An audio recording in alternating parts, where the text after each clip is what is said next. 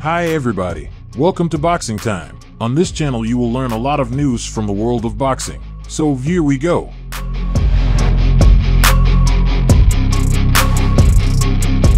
Floyd Mayweather Jr. is advocating for Terence Crawford to face David Benavidez next in the boxing ring, envisioning the winner as a formidable contender to challenge Canelo Alvarez for his undisputed super middleweight championship. Mayweather believes both Crawford, 40 0, 31 KOs, and Benavidez have effectively pursued Canelo as their ultimate target, making a showdown between them the optimal solution. The victor of this anticipated clash would garner significant attention and exert immense pressure on Canelo, February 2nd, 60, 39 KOs, to face them. And he want to fight Canelo bad, and Benavidez want to fight Canelo bad. They can't get Canelo.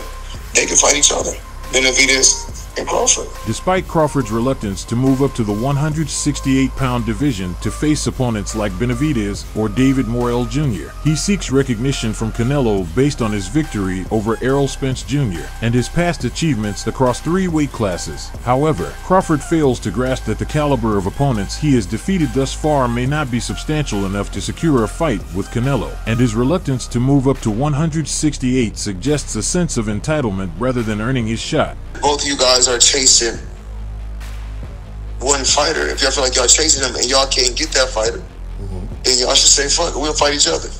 A victory over WBC interim super middleweight champion Benavidez, 28 to 0, 24 KOs, would eliminate Canelo's excuse for avoiding a showdown with Crawford, showcasing his capabilities at 168 pounds.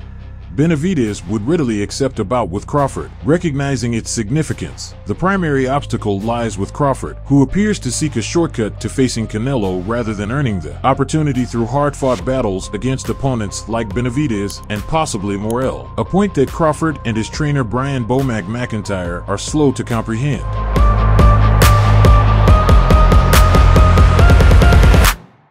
Subscribe. Please like and comment. This is very important for the development of the channel. See you later.